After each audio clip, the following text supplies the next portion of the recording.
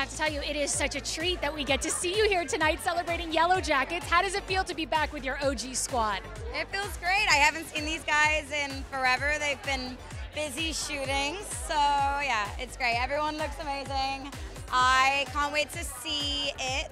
I'm with you guys. I haven't seen any of it, so see. We've seen a little, and I have to tell you, and I have to thank you. It is excellent. And I just want to thank you for coming back. It is, you know, we, we left season one with saying goodbye to Jackie. I didn't know if we were going to get to see you in season two.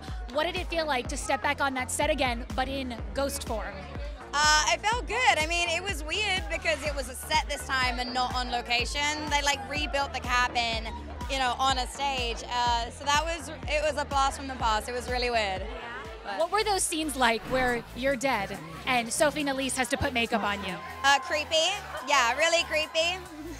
like, this is a little weird for me. Yeah, it's weird seeing like your dead self right in front of you, and everyone's like taking selfies and messing around, and it's like, please have some respect for dead Jackie we do have so much respect for dead Jackie, but you know, she has a really unfortunate outcome.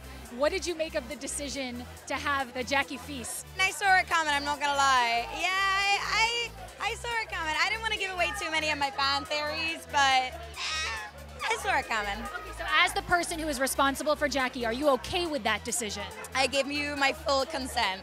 She gives her blessing for the cannibalism. No, just enjoy it. A little salt, a little pepper, put me on the fire, it's fine. It was so amazing to get you back in season two. Is the door open for season three? Maybe. I don't know. I would. Of course I would. I'd do this for 11 seasons if they'll have me. Wow. You love your girl Jackie. I love my girl Jackie. I gotta do right by Jackie. You know? It's a supernatural show, so really, I truly believe anything is possible. We, she got charred in season two, but maybe she could come back in season three. Yeah, here's hoping. My fingers are crossed.